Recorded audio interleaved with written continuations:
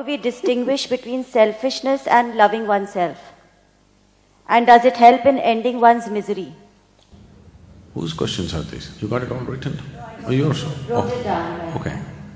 Okay.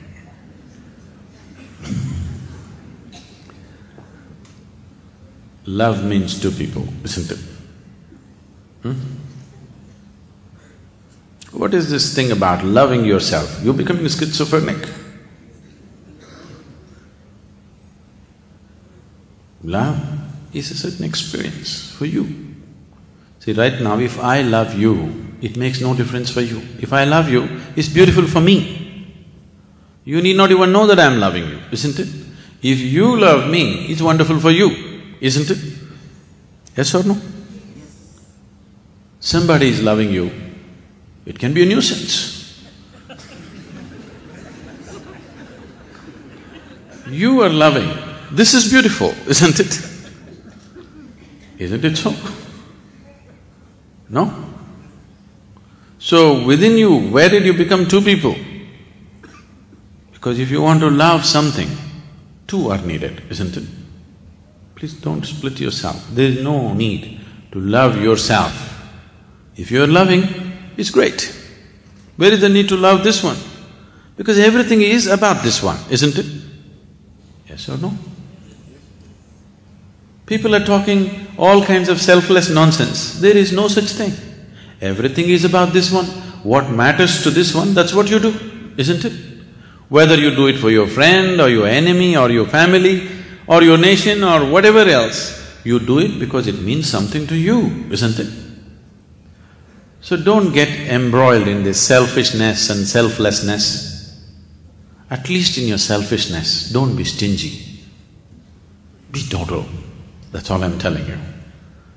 Right now, the moment you see that I'm truly responsible for everything around me, now you're capable of being truly selfish.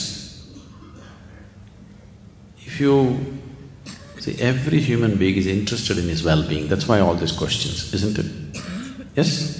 That's the basis of this, isn't it? You're essentially interested in your well-being. That is so with every human being, isn't it? Everybody is interested in their well-being. Human well-being is something that you're interested in.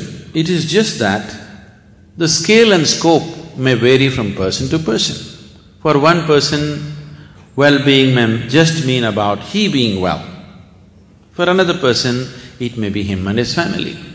For another person, it may be him and his community. For another person, it may be him and his nation. For another person, maybe it may be the whole humanity. For another person, it may be all life. Only the scale is different. There is nobody here who is not concerned about well-being, isn't it so? Everybody is concerned about well-being, only the scale is different from person to person. How much of well-being are you willing to address? Anyway, you're concerned about your well-being. You can be truly well only if everything around you is also well, isn't it? Is it a fact? Today we are talking about saving the ecology nonsense. You don't have to save the ecology, if you don't mess with it, it'll be well. now you're understanding, only if the trees are well, we can be well. When it comes to survival, you'll understand. But anyway, don't you know this? If everybody in Delhi is well, it is also good for your well-being, isn't it? Yes? Only if you are well and nobody is well, your life is constantly under threat. Isn't it so? So, if you extend this, wanting well-being from the limitations of this body and say, I want this to happen. I want this to happen to everything and everybody around me, then you will do your best.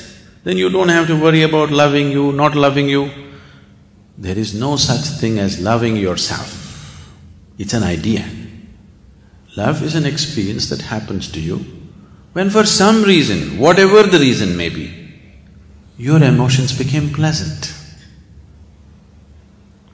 It happened because your child came and kissed you or your dog wagged its tail. It can happen both ways, isn't it so? Yes or no? For what reason it happened is not the point. It happened Because your emotions became sweet. So, you call that love.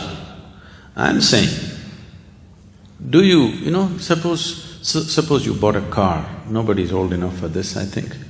Suppose you bought a car in 1940s.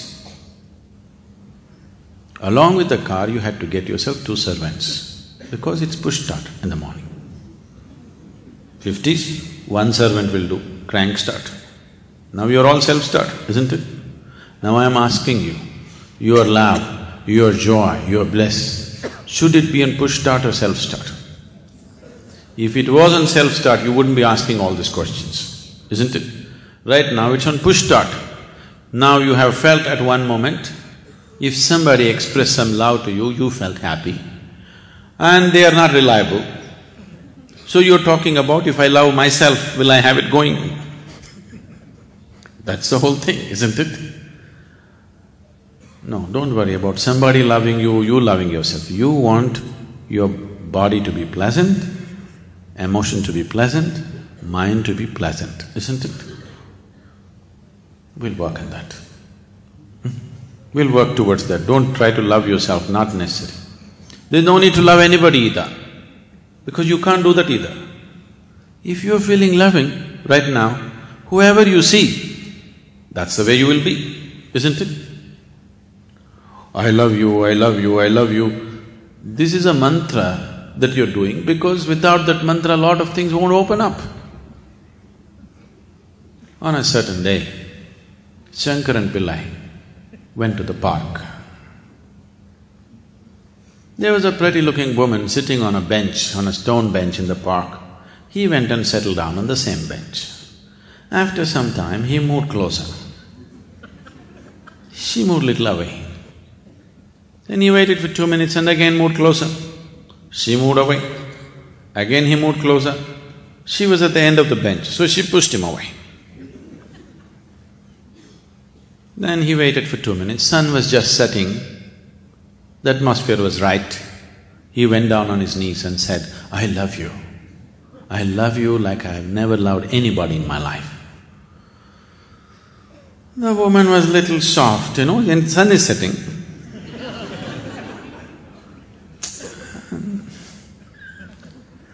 she melted down. I'm sorry, I shouldn't use the well melting down word. And things happened between them, nature took over, many more things happened between them. It was getting eight o'clock. Shankaran Pillai got up and he said, I need to go, I need to go. She said, where are you going? You said you love me. In her mind, the moment he says, I love you, both of them have become one. He said, no, I need to go, my wife will be waiting, I have to go at eight o'clock. so, I love you is like open sesame. It's a mantra. If you say, I love you, things that you want will happen. So, I'm not talking about transactions, I'm talking about love. Love is not a transaction. Love is a beautiful thing that happens within you. It cannot happen outside of you. It may find expression outside, but it's something that can happen only within you, isn't it? And do you want to keep something so beautiful on push start or self start? We'll get it on self start. Hmm?